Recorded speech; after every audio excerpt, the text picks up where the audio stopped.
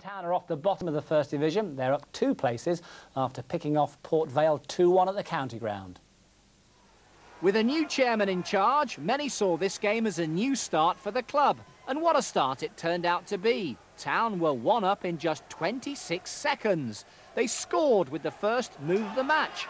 But Iffy Onuora's goal was a real fluke, or more like a real fluff by the Vale keeper.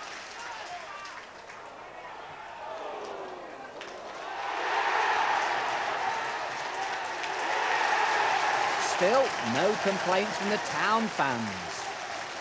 Although they must have thought it was back to the old days when Tony Rougier ran in the equaliser.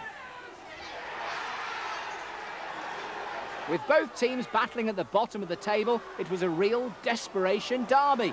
And Town's chance looked to have gone for good when Giuliano Grazioli made the miss of the match. But with seconds to go, the